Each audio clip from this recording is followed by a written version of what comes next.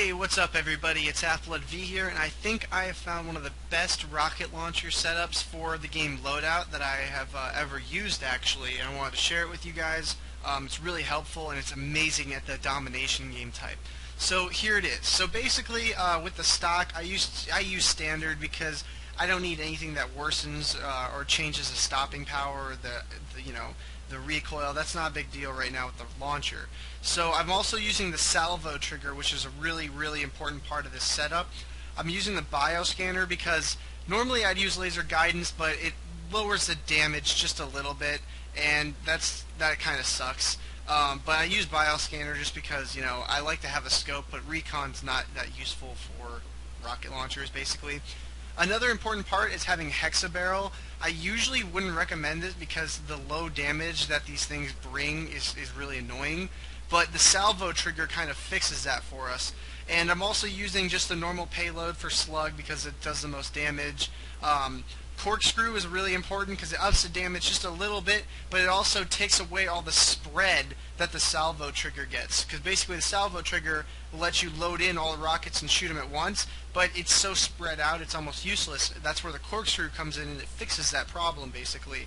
I've also got bouncy on just in case I miss maybe one of the rockets can do some extra damage to someone else.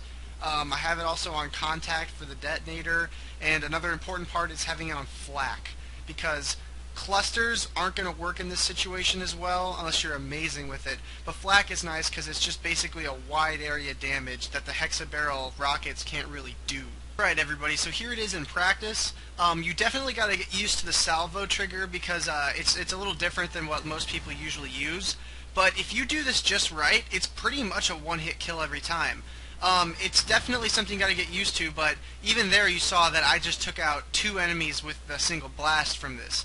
Now, granted, it's a bunch of rockets, you know, in one big shot, but the way this is set up with the corkscrew and everything, it's probably the most effective way because it's like incredibly clustered in and the flak is really, really damaging. So if you get used to it and if you can find the right points to, you know, actually uh, aim the rocket at, then you can get some pretty fantastic kills and it's really, really, really, really awesome at the domination game type because this just tears people up if they're sitting on the capture point. There's just nothing they can do whenever you got that coming at you. They're going to take some serious damage or die. So basically that's it guys. Not much left to say other than try this out for sure. It's definitely one of the uh, higher blute cost ones though. It's going to take a little bit for you guys to get everything for this one, but uh, definitely worth it in my opinion if you're a rocket kind of guy. So that's it. Uh, like the video if you enjoyed it or if it helped you because it really helps me out too. Um, subscribe if you want to see some more loadout stuff. I got plenty on the channel.